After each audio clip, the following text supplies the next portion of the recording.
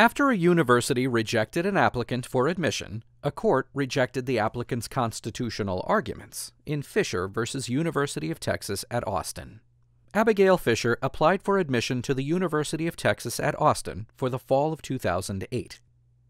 During the admission cycle for Abigail's application, the university used three programs to admit students. First, Texas's Top 10% plan guaranteed the top 10% of students graduating from a Texas high school admission to any Texas public university. About 80% of all students were admitted with this program. Because racial segregation persisted in Texas schools, many non white students were admitted through this program.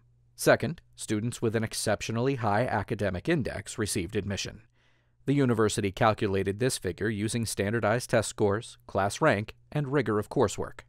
And third, with a holistic review, the university calculated a personal achievement index with essay scores and a heavy focus on applications. Evaluators awarded points for leadership, work experience, extracurricular activities, and special circumstances. Special circumstance could include an applicant's socioeconomic background, familial responsibilities, or race. No particular value was required for these factors.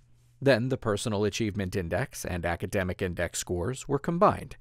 Generally, white students received a greater percentage of the admissions offers with holistic review than black or Latino students. Fisher wasn't in the top 10%, and her academic index score was too low for admission on academics alone, so she competed for admission through holistic review. Because of steep competition, even if Fisher received a perfect Personal Achievement Index score, she still wouldn't have received an offer because her academic index score wasn't high enough. Fisher sued the university, claiming the race conscious admissions program violated her 14th Amendment rights. The district court granted summary judgment for the university. The Fifth Circuit affirmed.